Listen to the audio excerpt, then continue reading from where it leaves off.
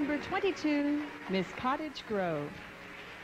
Gretchen, should children be financially responsible for their aged parents living in a nursing home? Actually, I have personal um, belief in this because my grandmother just recently moved into a nursing home, and my father has been totally responsible for financing her along the way, and so I'm a strong believer in that.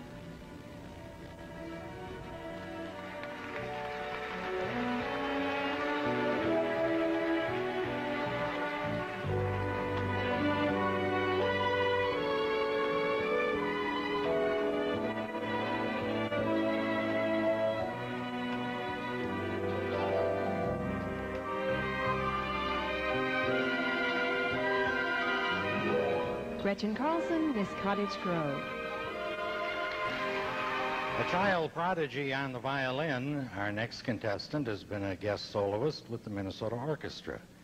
Tonight with Spanish fire and flair, she performs Carmen Fantasy. Welcome, Miss Cottage Grove, Gretchen Carlson.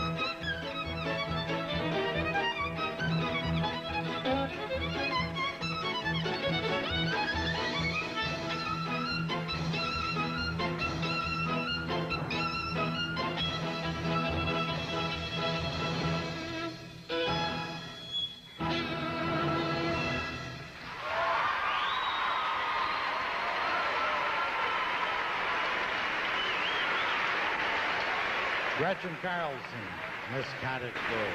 And now Miss Minnesota, winner of a $3,000 educational scholarship, a $5,000 mink jacket from the Minnesota Fur Farmers, and every girl's dream, a chance to walk down that runway in Atlantic City. Miss Minnesota is Gretchen Carlson, Miss Cottage Grove.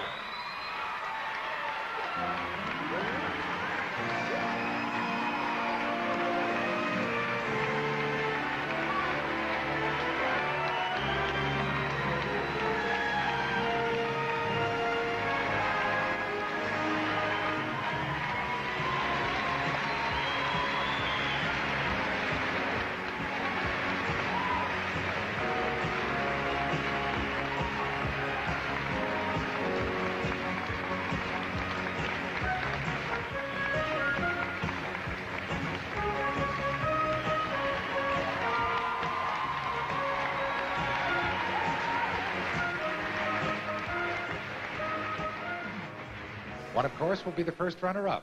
The other, Miss America 1989. The two women receiving the highest scores are Gretchen Carlson, Miss Minnesota,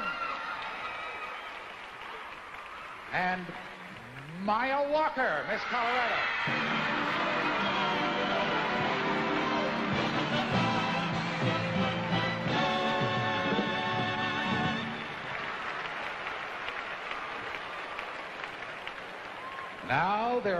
Two, just two.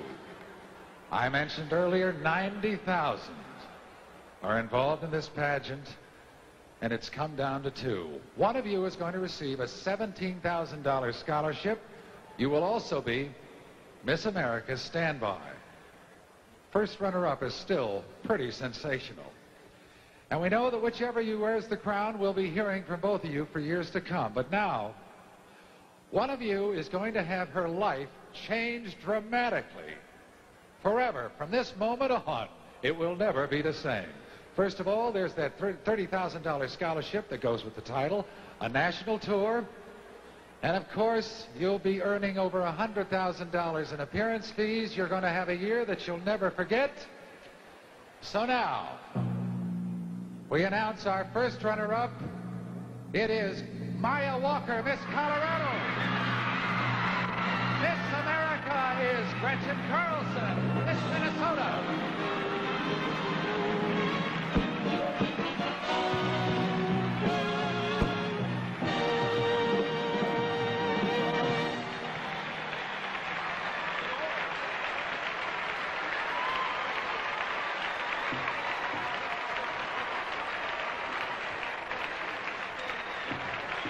Gretchen Carlson, your public awaits, and whether that crown is on or not, take a walk down that runway.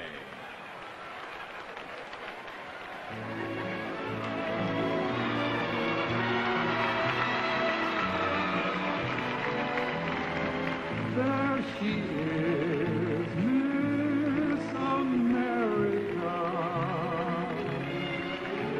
There she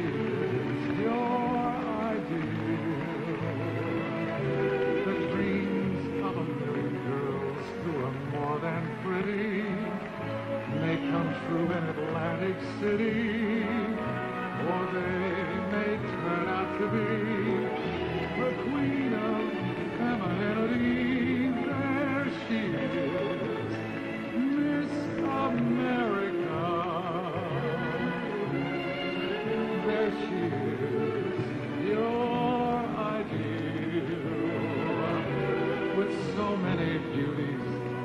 Took the town by storm with her all-American face and form. And there she is, walking on air. She is Paris of the fair.